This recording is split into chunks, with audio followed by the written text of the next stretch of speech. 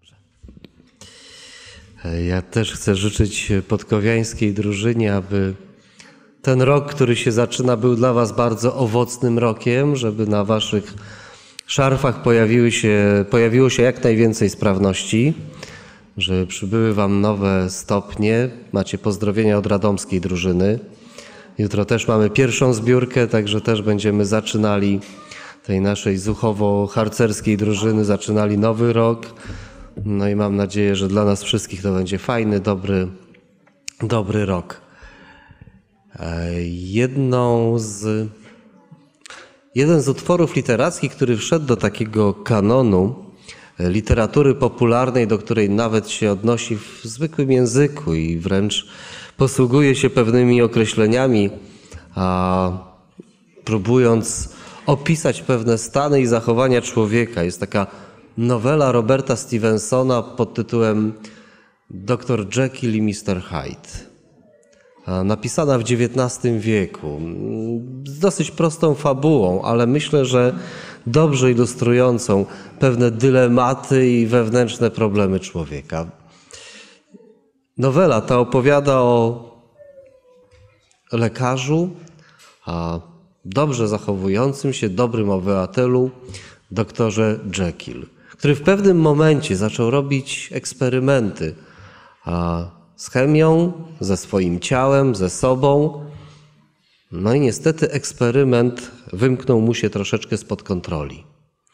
Dlatego, że pod wpływem substancji, którą zaczął zażywać, tracił świadomość, a w nim odzywała się druga natura, którą, a, którą druga natura człowieka i drugi człowiek, który był nazywany Mr. Hyde, który zamieniał tego zwykłego, grzecznego lekarza a w mordercę, w człowieka, który niszczył, który napadał, który mordował, który dokonał wielu przestępstw.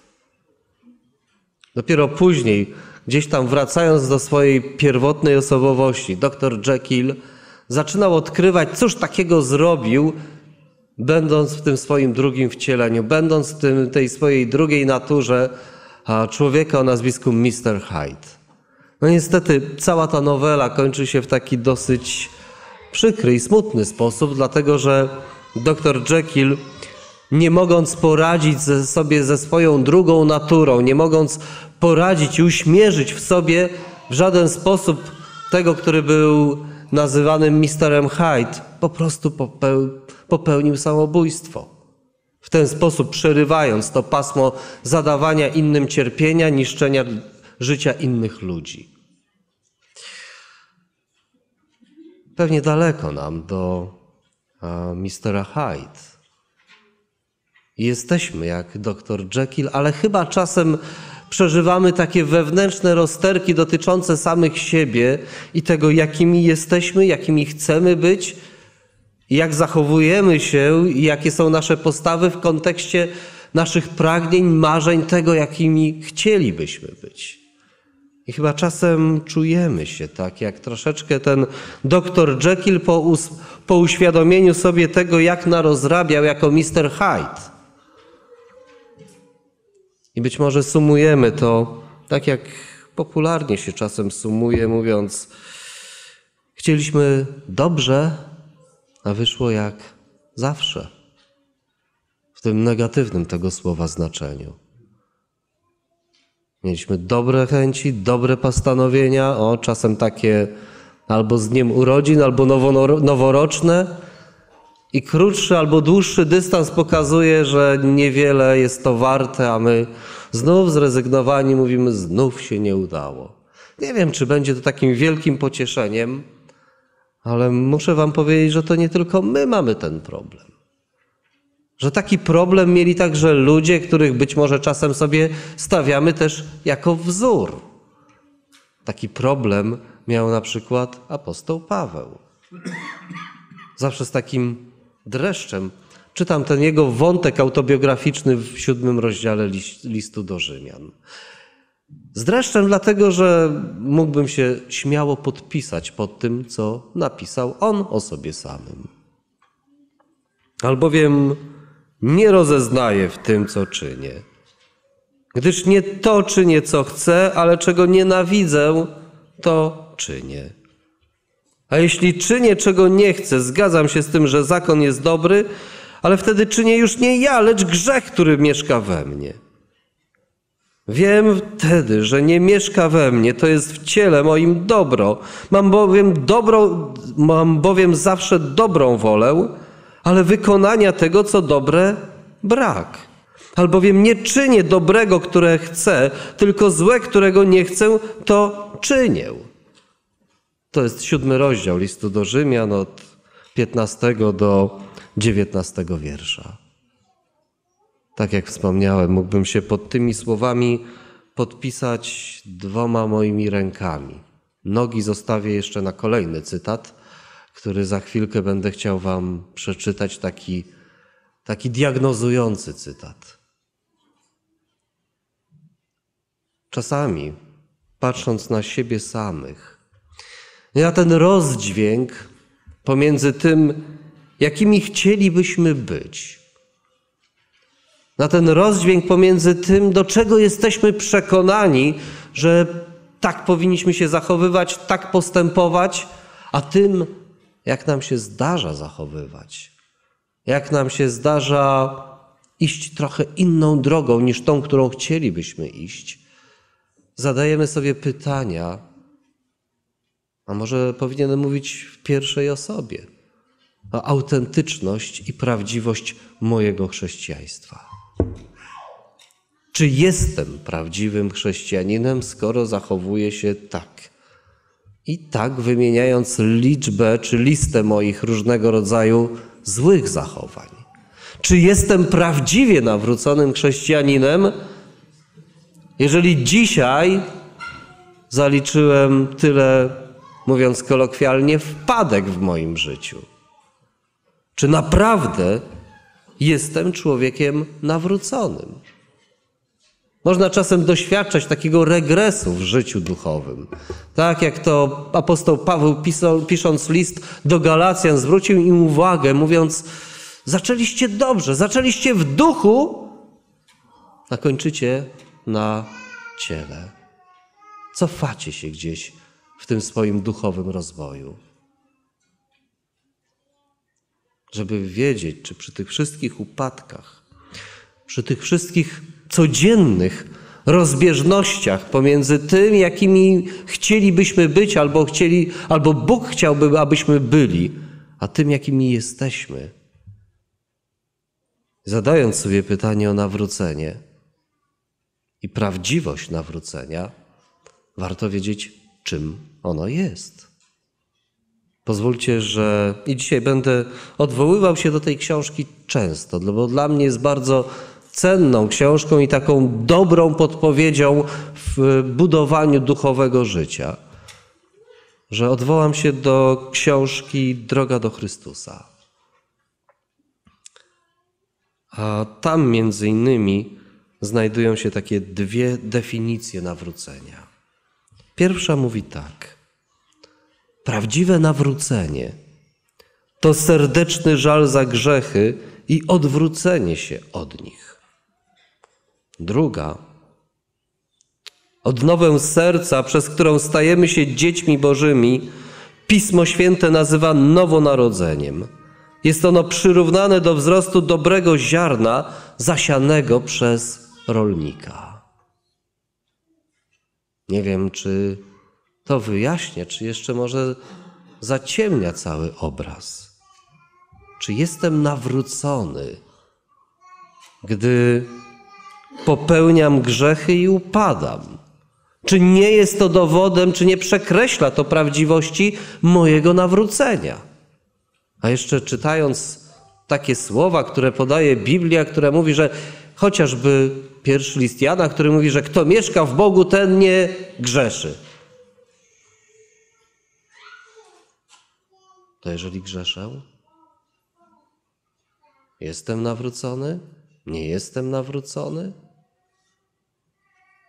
Z doświadczenia i rozmów wiem, że tego typu pytania potrafią wywoływać wielkie huśtawki duchowych nastrojów, łącznie z tak wielkim rozchwianiem, że Może brzmi to żartobliwie, ale zdarzyło mi się mieć do czynienia z osobami, które swoją poczucie swojej pewności zbawienia i nawrócenia niemalże wręcz uzależniały od nastroju, jaki wywoływała pogoda.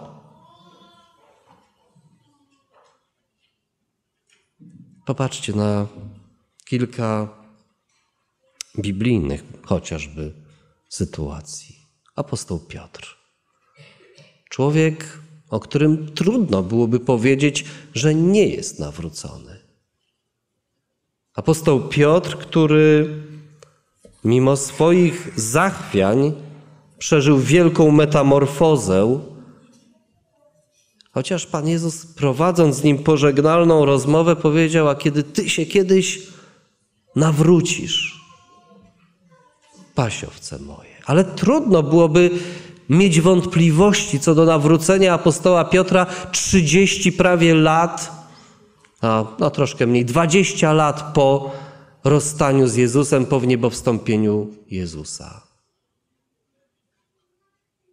A jednak Piotr, mimo to, że był liderem Kościoła, nie był człowiekiem doskonałym.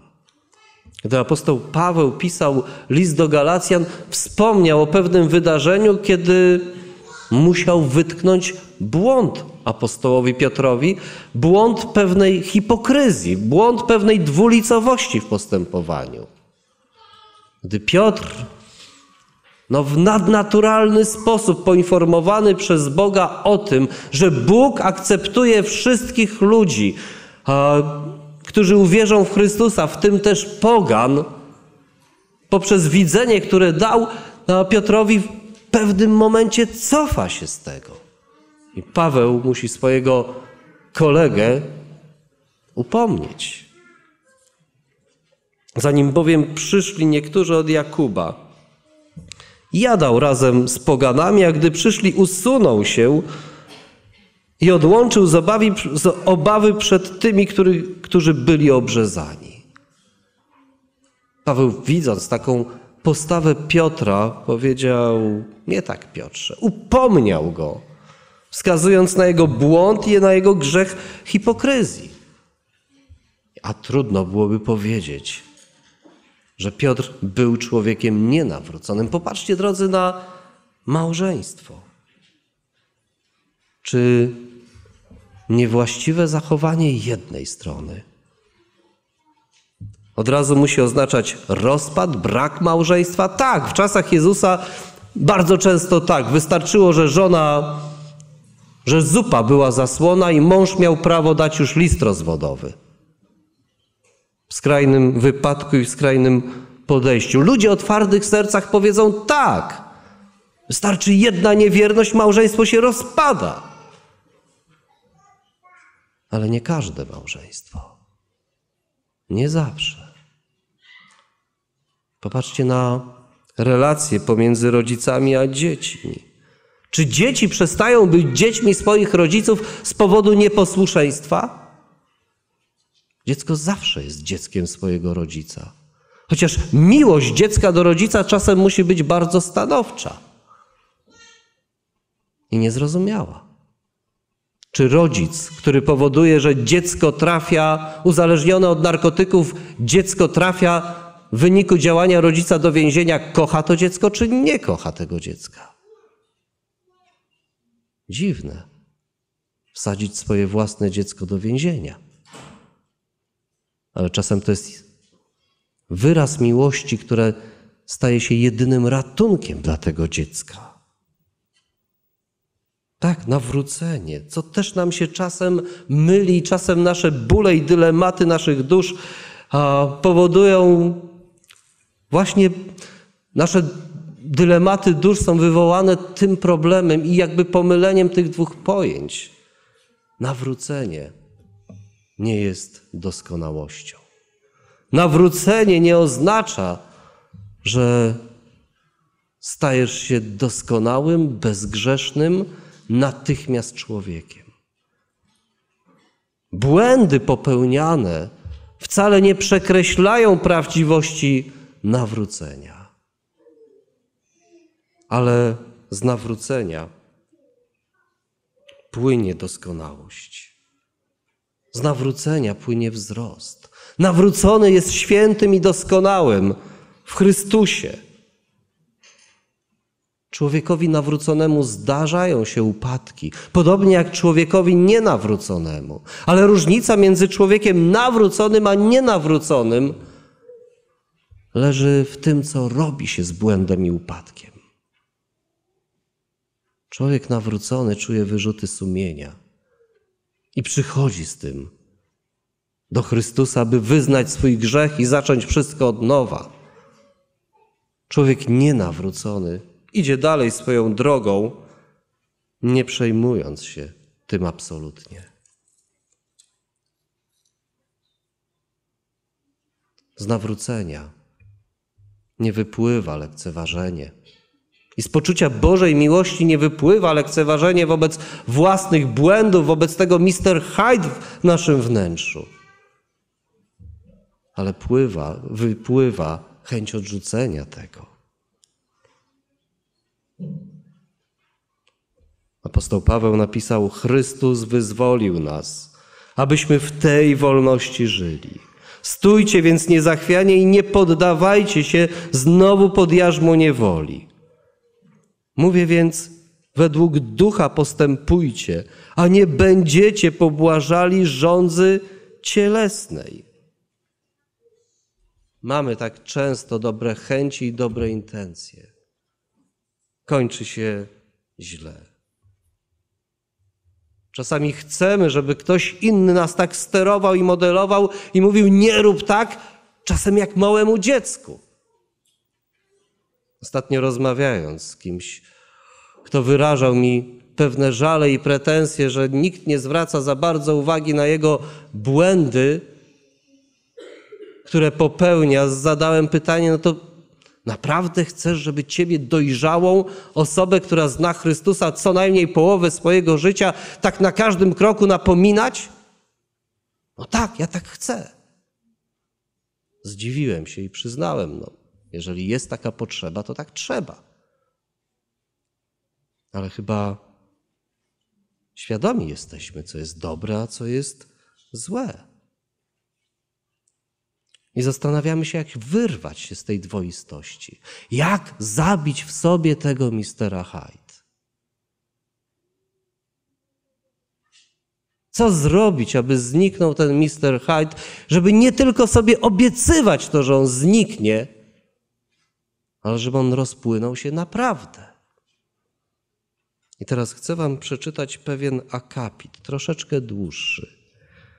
A ten akapit jest otoczony pewną historią i pewnym moim doświadczeniem. Kiedy poznawałem Biblię i kiedy poznając Biblię trafiłem tu do tego kościoła, wszystko mi się świetnie zgadzało. Ale w pewnym momencie pojawił się jeden znak zapytania. Jedna taka czerwona lampka, która mi się zapaliła, także w wyniku pewnej mojej, moich zainteresowań i wiedzy religioznawczej. To był taki moment, kiedy ktoś mi powiedział o szczególnym statusie i szczególnej pozycji twórczości Ellen White w naszym kościele.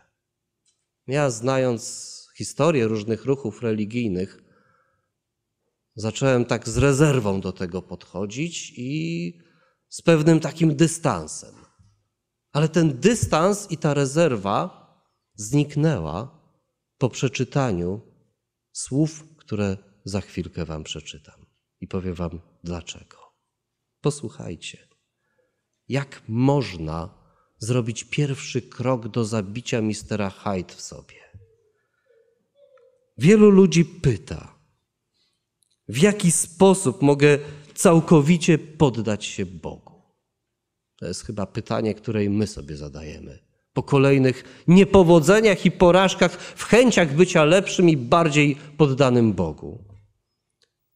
Chcecie Mu oddać siebie, lecz jesteście moralnie słabi, w niewoli zwątpienia, kontrolowani przez zwyczaje waszego grzesznego życia Wasze przyrzeczenia i postanowienia są jak bicz z piasku. Nie potraficie panować nad myślami, pragnieniami i uczuciami. Świadomość stale łamanych przyrzeczeń i niedotrzymanych ślubów osłabia waszą wiarę w waszą własną szczerość. Wpadacie w rozpacz i sądzicie, że Bóg nie może was przyjąć. I tu się zatrzymam. Drodzy, to jedno zdanie przekonało mnie o tym, skąd wzięła się inspiracja Ellen White, bo zadałem sobie jedno pytanie: jak ta kobieta 150 lat przede mną tak dobrze wiedziała, co siedzi w moim wnętrzu? Skąd ona mogła tak dobrze zdiagnozować moje dylematy i moje duchowe problemy? I myślę, że to nie jest tylko mój problem.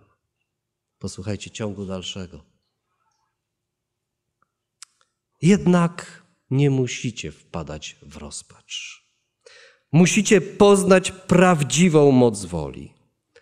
Jest ona w naturze ludzkiej siłą rządzącą, mocą decyzji i wyboru. Wszystko zależy od właściwego działania woli. Bóg obdarzył ludzi mocą i możliwością wyboru, aby ją ćwiczyli. Nie potrafisz zmienić swojego serca.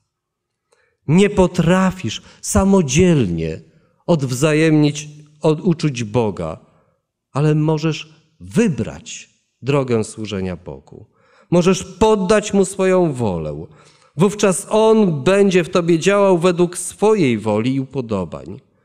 W ten sposób cała Twoja natura zostanie poddana kontroli Ducha Chrystusowego. Twoje uczucia skoncentrują się na Nim, a myśli będą pozostawać z Nim w harmonii. Wiem, że czytam dużo. Pozwólcie, że jeszcze doczytam jedno zdanie, bo te zdania, te słowa są tak mądre, że wystarczają za własne słowa mówione. Pragnienia dobra i świętości są słuszne. Gdy jednak poprzestaniemy tylko na nich, staną się bezwartościowe. Wielu ludzi zginie na wieki, chociaż mieli nadzieję i chęć stania się chrześcijanami. Nie dokonali ostatecznego wyboru, by poddać swą wolę Bogu. Nie decydują się teraz zostać chrześcijanami. Dzięki właściwemu ćwiczeniu woli może nastąpić całkowita zmiana w Twoim życiu. Przez poddanie Twojej woli Chrystusowi łączysz się z potęgą przewyższającą wszelkie moce. Uzyskujesz wówczas siłę z wysokości, aby mocno stać. Przez nieustanne oddawanie się Bogu będziesz mógł żyć nowym życiem, życiem wiary. To także fragment książki Droga do Chrystusa. Sumując, nie zabijemy w sobie Mister Hyde'a. Jedyne, co możemy zrobić, to w dobry sposób ukierunkować naszą wolę. Poznać moc mojego wyboru, że naprawdę, nie tylko deklaratywnie, chcę służyć Bogu. Przyznać się przed sobą samym, że jednak te rozbieżności są. Uznać, że nie zmienię siebie i nie zabiję sam tego Mister Hyda w swoim wnętrzu apostoł Paweł napisał, że z Chrystusem jestem ukrzyżowany. Widzieliście kiedyś człowieka, który sam się ukrzyżował? Są takie zwyczaje w, kranach, w krajach, w Filipinach bodajże, gdzie i Meksyku, gdzie ludzie przy okazji Wielkanocy dają sobie wbijać gwoździe w ręce, w nogi i wiszą na krzyżach ale jeszcze nie widziałem, żeby ktoś sam się mógł krzyżować.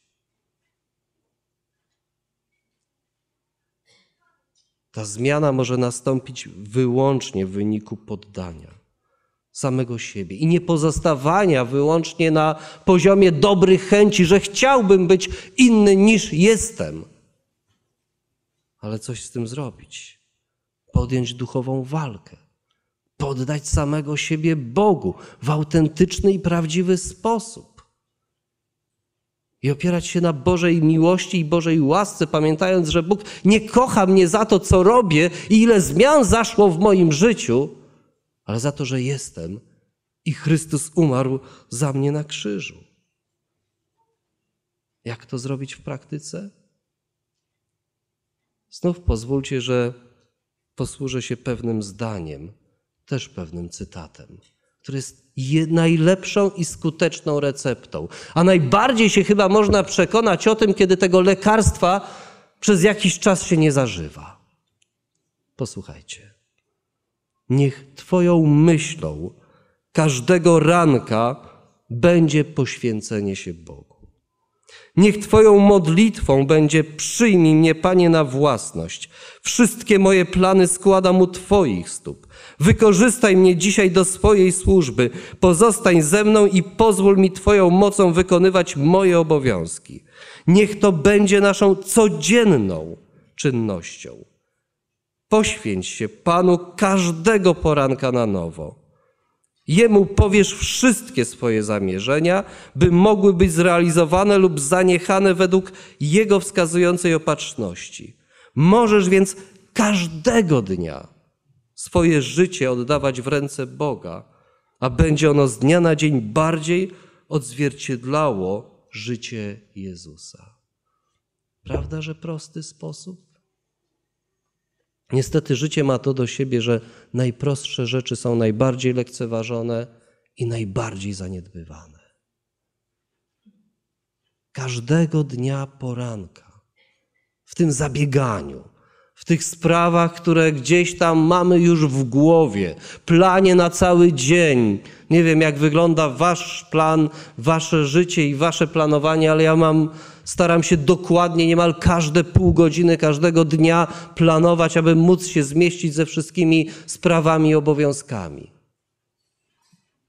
Ale nie można zapomnieć na początku, mimo rozgardiaszu, pośpiechu, chcąc zabić w sobie Mister Hajda, żeby oddać się w pełni Bogu znów, dzisiaj. Jeżeli Pan Jezus codziennie przeżywał swoje nowonarodzenie i przeżywał codziennie nowy chrzest Duchem Świętym, o ile bardziej to jest potrzebne nam. Sądzę, że na tej sali, a także wśród tych, którzy nas słuchają, zdecydowana większość została ochrzczona w imię Ojca, Syna i Ducha Świętego. Zastanawialiście się kiedyś, co to znaczy być ochrzczonym w imię Ojca, Syna i Ducha Świętego? Nie chodzi o sam fakt zanurzenia, ale to, że w momencie, kiedy następuje to zanurzenie, właśnie jesteśmy zanurzani, chrzczeni w imię Ojca, Syna i Ducha Świętego. Czy ktoś mógłby mi podpowiedzieć, co to znaczy być ochrzczony w imię Ojca, Syna i Ducha Świętego? Charakter Boga. Mhm. No wierzę, że przyjmując chrzest przez zanurzenie, robimy to świadomie i świadomie wiemy, co się z nami dzieje, kiedy ktoś nad nami powiedział: Chrzczecie w imię Ojca, Syna i Ducha Świętego. Czy może jeszcze coś innego? Rozumiecie przez to?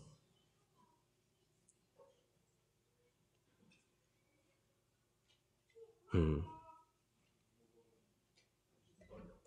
Być ochrzczonym w imię Ojca, Syna i Ducha Świętego. To znaczy być poddanym Mu pod opiekę. To znaczy należeć do Niego. To znaczy przyjąć przymierze, w którym Bóg za nasze poddanie się Mu i postanowienie, że chce i z Nim przez całe moje życie, obiecuje całą swoją moc. Między innymi do tego, żeby to życie tak wzrastało, aby zabić sobie Mr. Hyde. Znów zapraszam Was do posłuchania dwóch zdań. To już ostatnie cytaty na dzisiaj. Zło w nas może być powstrzymane przez Ducha Świętego. Zło narastało w przez całe wieki, a mogło być odparte jedynie przez moc Ducha Świętego trzeciej osoby bóstwa. Niebiańska Trójca to trzy żywe istoty. W imię trzech wielkich potęg Ojca, Syna i Ducha Świętego chrzczeni są ci, którzy żywą wiarą przyjmują Chrystusa. Moce te działają z posłusznymi poddanymi nieba w ich dążeniu do prowadzenia nowego życia w Chrystusie. Przyjmując chrzest, Bóg zawiera z nami przymierze i mówi: Cała moja moc jest do Twojej dyspozycji. Tylko skorzystaj z niej. Jakiś czas temu rozmawiałem z moim kolegą, który akurat byliśmy obydwaj na etapie kupowania komputerów. Ja mu opowiedziałem o swoich planach zakupu i parametrach komputera. On zaczął mi opowiadać o parametrach komputera, który planował kupować. W każdym niemal, w każdym wymiarze daleko wykraczającym poza parametry mojego komputera. Opowiadał naprawdę o zaawansowanych rozwiązaniach, które chciałbym mieć w swoim komputerze. Ale tak na koniec rozmowy zapytałem go: Słuchaj, ale do czego będziesz wykorzystywał taki komputer? Usłyszałem w odpowiedzi: No, tak, czasem coś napiszę, może czasami zrobię prezentację. Czyli komputer wykorzystany może w 5% jego możliwości i potencjału. Apostoł Piotr napisał tak w drugim liście, pierwszym rozdziale i trzecim wierszu.